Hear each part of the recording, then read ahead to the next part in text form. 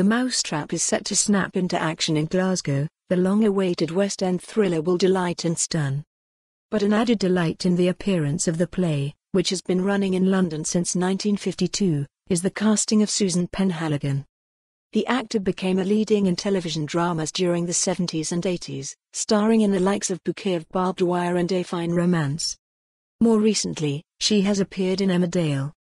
Right now, however, Penhaligon admits she's captured by Agatha Christie's thriller, A Tale of Deceit and Deception.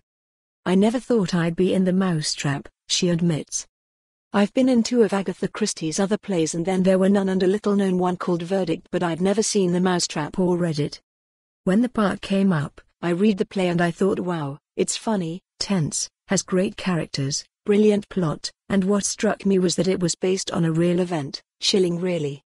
The actor adds, Agatha Christie is so clever, there's always truthful emotion in her plays. She's the second most read English writer after Shakespeare so she must have done something right. Susan Penhaligon loves her character, Mrs. Boyle. She says it as it is, she doesn't hold back. She's the type of woman who is used to being in control of situations. Probably to make herself feel safe. She smiles, I don't think she feels safe in the mousetrap however. The actor had never planned for a long-running stint on television. For some reason all through the 70s and 80s I seemed to land lots of TV and film roles. I just went with the flow. But I always tried to do a play once a year if I could.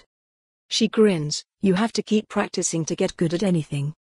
The Mousetrap, The Theatre Royal, until Saturday. For more on this story, visit the news article link.